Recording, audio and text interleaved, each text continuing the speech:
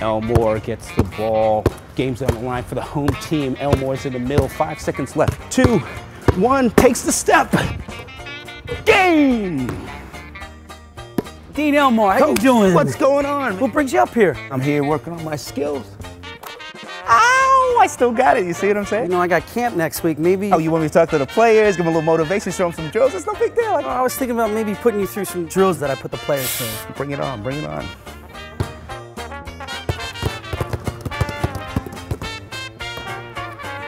Knock it down. Oh, come on, Dean, you got this. Come on, come on. You can do this.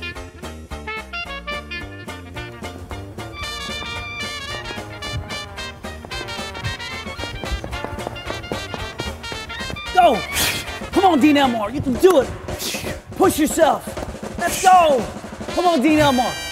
30 more seconds, you can do this.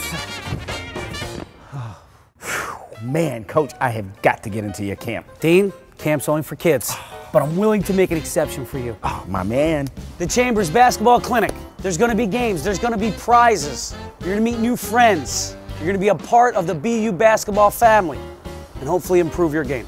So, Dean Elmore, you gonna sign up for camp? I don't care if it's for kids. Sign me up. And remember, keep a great attitude.